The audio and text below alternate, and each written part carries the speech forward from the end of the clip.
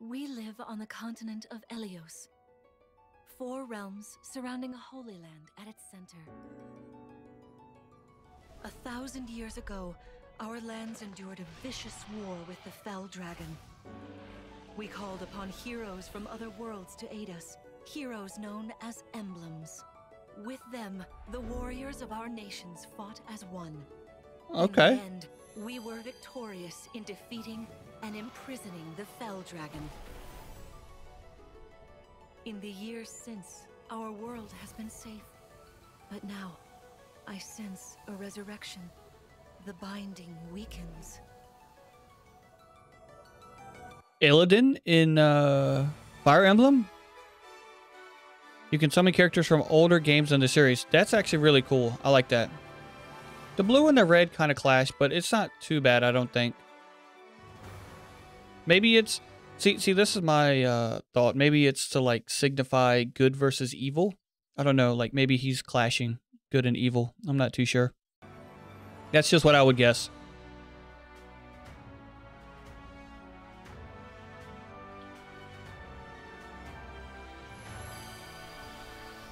Already got the waifu there. Okay, I see. That's Byleth, right? Yeah. That's pretty dope.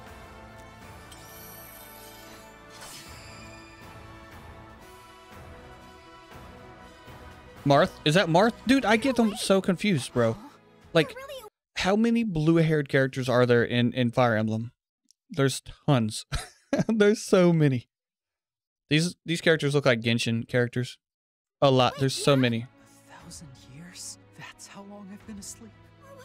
What are those horrible things?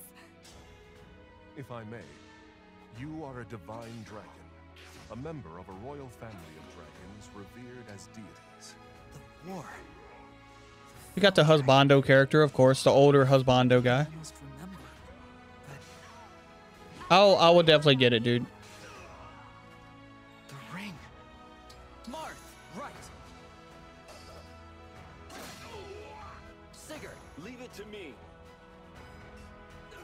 So, so, so what it looks like is you don't actually play as those characters. They just are like, um, almost like a summon for you. It's kind of cool. It is rather quiet, I know, but it will liven up as we gain allies. Reminds me of Sui has Suikoden. come. Now, as one, emblem, engage!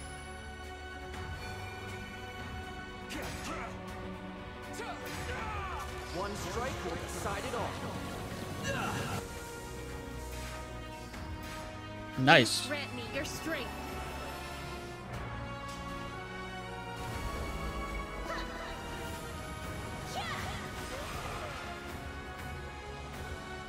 She asked me to gather all of the rings and bring peace back to Elyos.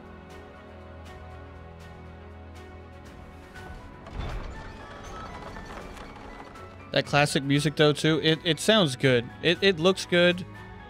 I think it'll probably be a day one.